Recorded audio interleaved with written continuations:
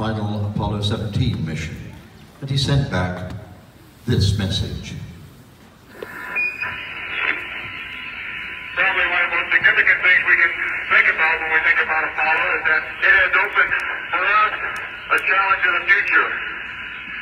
The door is now cracked, but the promise of that future lies in the young people all over the world, learning to live and learning to work together. Who will be the next to follow in his footsteps in space?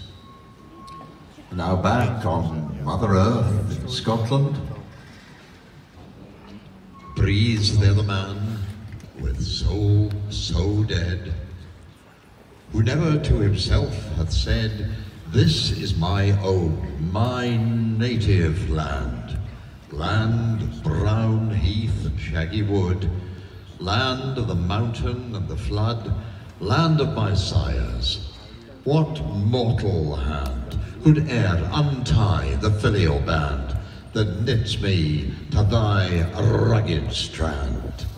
Scotland, Scotland the brave!